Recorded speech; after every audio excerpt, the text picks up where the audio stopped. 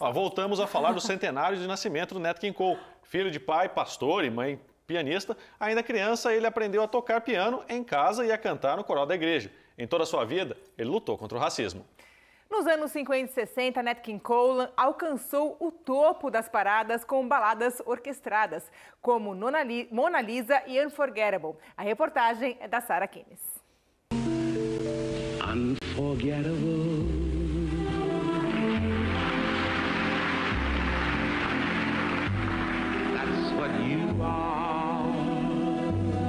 Voz doce e suave de barítono que imortalizou baladas foi, como o nome de uma de suas músicas, inesquecível. Mas antes de se tornar um cantor de canções românticas, Nat King Cole começou a carreira como pianista de um trio de jazz.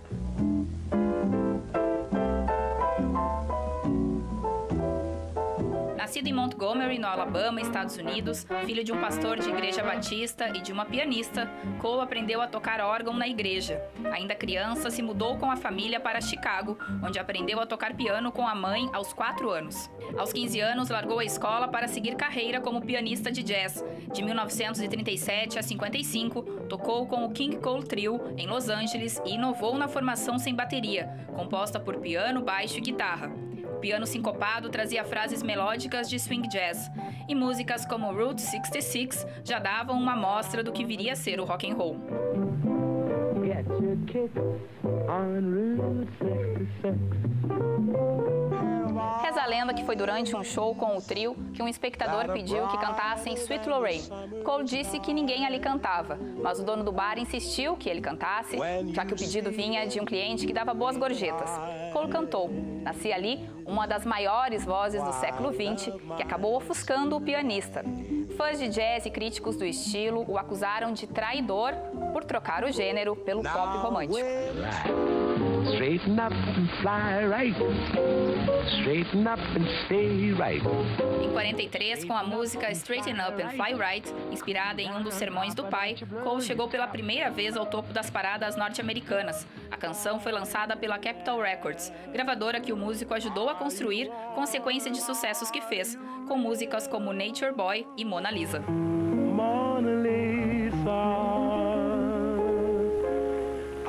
Just a cold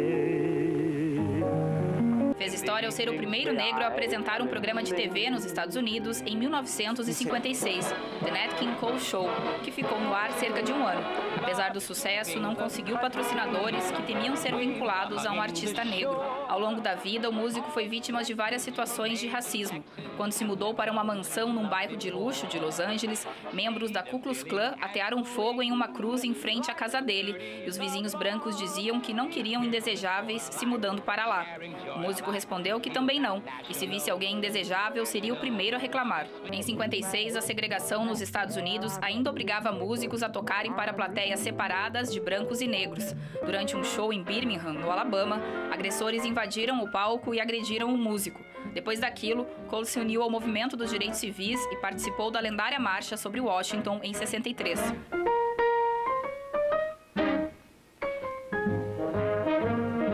Brasil, o músico se apresentou para o Maracanãzinho lotado em 59. Gravou com Silvia Teles e com o trio Iraquitã e se encontrou com o presidente Juscelino Kubitschek no Palácio das Laranjeiras. Com um vocal hipnotizante, lançou discos com boleros em espanhol.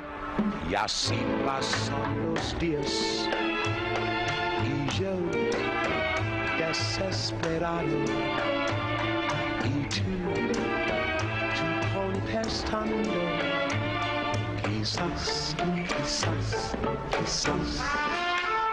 Nat King Cole fumava em excesso cerca de três maços por dia. Achava que o cigarro ajudava a manter o timbre grave da voz. Morreu vítima de um câncer nos pulmões em fevereiro de 65, dois meses depois de descobrir a doença. Ele tinha apenas 45 anos.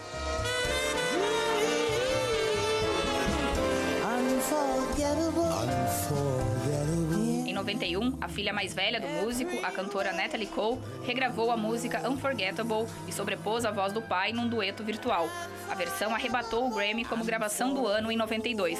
Nos 100 anos de seu nascimento, Nat King Cole se mantém um ícone imortalizado que partiu cedo, mas que segue vivo na vasta discografia que deixou, assinada como uma voz inesquecível.